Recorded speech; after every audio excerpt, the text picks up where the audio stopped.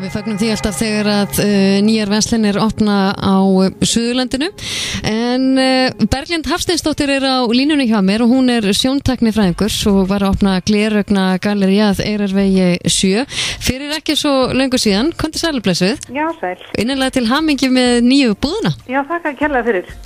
Þetta var gamall draumir eða hvað? Já, þetta er að draumur lengi að hérna fá, vera með sína eigin vestlun. Já, Ég hérna er búin að starfa svo sem við fæið lengi og hérna en, en hérna langaði til að verða mín eigin herra.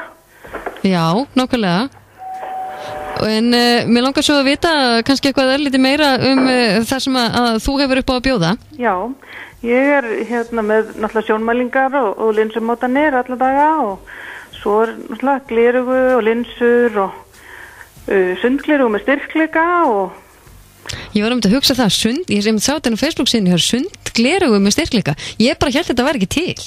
jú, jú, það, við verðum náttúrulega líka sjá í sundi eins og, eins og hinnir. Já, ég hugsa þetta nefnilega því ég er sjálf með glerugu og ég er aldrei nokkuð tíma að datta þetta í hug, sko. Nei, nákvæmlega. En þetta er hérna, núna getum við bara öll séð í kafi og, og hérna fylgst með. Já, Það er bara mikill munur, maður sér óskaplega vel með þessu. en nú hef ég til dæmis aldrei notað linsur, alltaf verið bara með glerugun. Er mikill munur á þessu? Það er náttúrulega til alveg heilmikið af, já, linsu tegundum og, og hérna mismunandi góðar og það er til daglinsur og það er til mánalinsur og ef maður er með sjónskekkju þá er það líka til svoleiðis fyrir það og, og svo er náttúrulega líka hérna er farið að geta sofið með linsur. Já, Það er sveflinsur orðið til líka og hérna er engin ertingu í, augun eða neitt af þessu? Nei, maður þarf að reynda fyrst svona að vera undir eftirliti en, en hérna að koma í og tjekka, koma til að fara að láta tjekka eftir fyrstu, fyrstu nættunar en, en hérna svo bara á þetta geta gengið sko. Já, en hvernig glerugna umgerðir ertu með?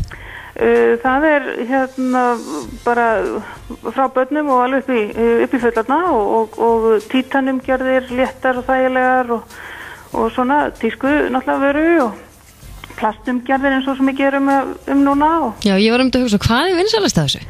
Uh, það er, plast er búið að vera rosa mikið núna og, og, og hérna er núna að fara yfir svona kannski verða meiri málmur, svona grófari málmur uh, og náttúrulega alltaf léttu títanumgerðarnar vinsalar. Mm Það er náttúrulega vola þægilegar og ég með hérna frá sem eru nýju grömm, þannig að þær eru bara fyrst á nefin á manni.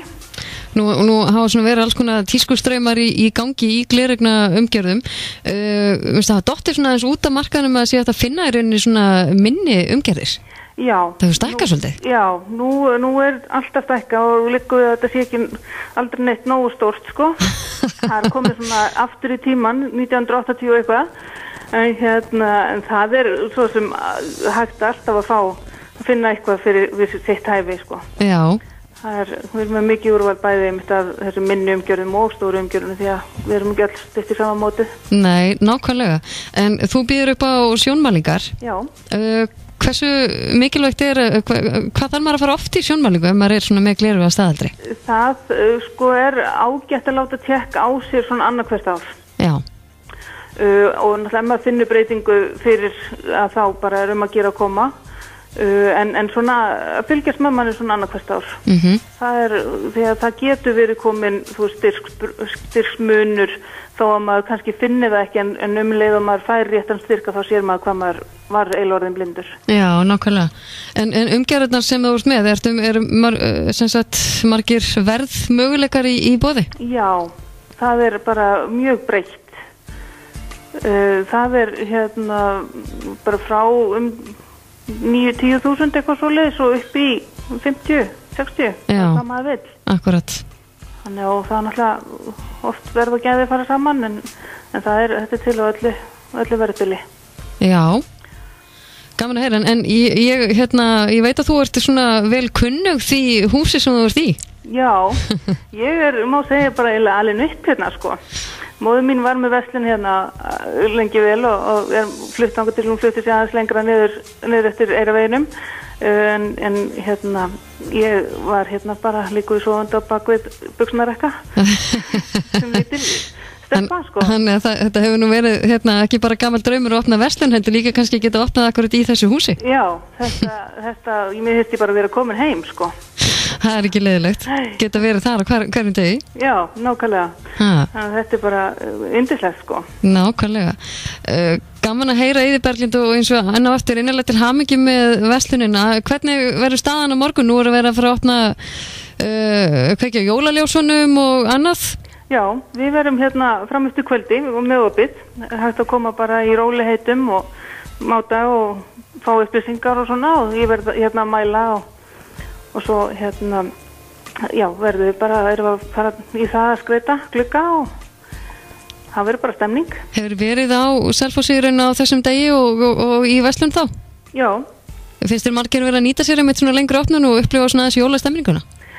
Já, það er hérna, það er alltaf aukana sko, að vera líka, það er svona opið á tímum sem fólk er ekki alltaf að vinna og hlaupur vinnu eða, eða svona getur fengið fjölskyldina með sér eins og að velja eða því oft er það annar aðlinn bara sem kannski fer, er að skoða og vantar alltaf álit frá einhverjum vinni eða, eða makka eða eitthvað. Svona þetta gera hlutani aðeins meiri róleitur. Já, já. nákvæmlega. Eh, Berglind, innilega gaman að heyra í þér og uh, ég vona að sem flestir er mitt nýtir sér opnunina á morgun og kikið við. Já, takk. Skoðið það sem er í bóði. Takk, Allt er fína. takk, takk. Já, bless, bless.